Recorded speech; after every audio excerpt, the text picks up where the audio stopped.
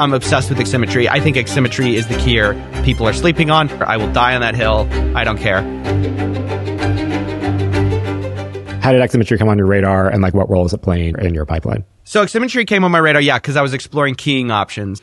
I would shamelessly approach anybody who had a better key than me, a better anything, industry professionals, and be like, how are you doing this? Why does your key look so good? And they're like, oh, well, because I'm not using OBS. And I'm like, oh, okay, well, I was using that. Um, so then they're like, you should get, you know, the Ultimatte or whatever. Um, eventually, by the way, for a lot of reasons, which we can talk about, I, mm-hmm. I now use Aximmetry for keying. I've, I've tried the Ultimatte, yeah, guys. I, I, know. You have to, okay. Cause that was one of my, yeah, I but, saw your tweet from a few years but ago. But I don't and, like, I, dude, I'm, I'm going to say, I put them in the head to head. I think Aximmetry is competitive and the compositing is like a million times better. I think people who are still like on the Ultimatte train, you're on an outdated system. I mean, it's not outdated in terms of, it's an amazing keyer, but the way you can like composite to me is so, maybe just someone hasn't explained to me the right pipeline, but I just think it's so limiting.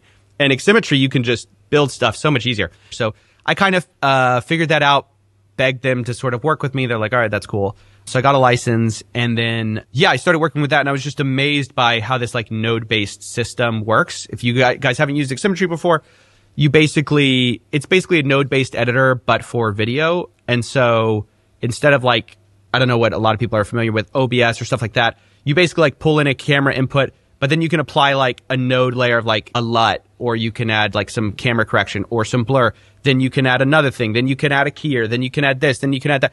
And you can kind of add all this logic in with it, which I really like. So, um, I kind of jumped in that as a way to do what is essentially live. So live, uh, production without yeah, like a in camera yeah, it's like a visual effect. Yeah, yeah, like it, basically in camera visual effects w- without um, Unreal. I don't know. I've, I've just kind of always had a bad experience with Unreal. It never really runs fully real time on my computer. So I'm like, if it's not fully real time, then I get pissed and I'm like, I, we should just, if we're going to just have to do it in post, let's just do it in Blender.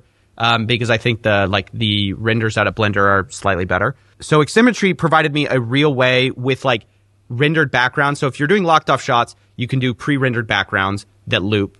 And so I was like, for anything we're doing locked off, let's film it live so I don't have to go back and like, we don't have to spend computation or post processing mm-hmm. keying or anything. Like, let's just do it all live.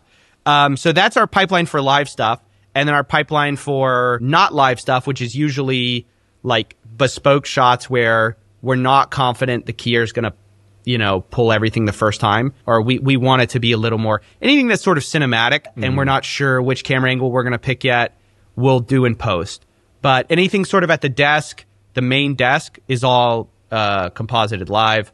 And that's just a way to save a ton of time because we used to extend it all to Keylight or to Primatte for like keying in post. And that was just not good. Your main A cam, B cam shots where you're in your the studio, you're at your desk, you're talking, you're kind of giving main storyline points.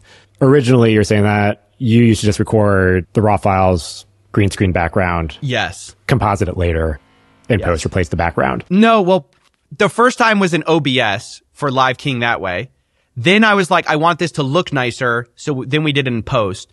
Then I was like, this sucks in post. How do I do it live but good, live but not OBS kind of terrible keying. And that's when I found Aximmetry and I haven't looked back since. Sorry.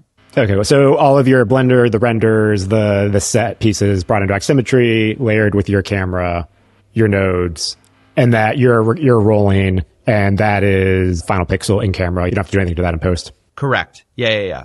I just want to. I guess I want to say this: virtual production, indie virtual production as far as locked off cameras, I think is 100% approachable. I think Aximmetry plus some rendered scenes, totally doable for a workable pipeline from every YouTuber. Indie virtual production for moving cameras, I don't think is quite approachable for the layman YouTuber. Yeah, I mean, I think the only viable indie solution for that right now is if you're fine filming on your iPhone, because there are a handful of solutions. Even Aximmetry came out with an app yeah. recently and so if yeah. you're fine filming on your iPhone, because the iPhone has all of these sensors that we need built into it. Yeah, the, um, the kit's actually pretty good.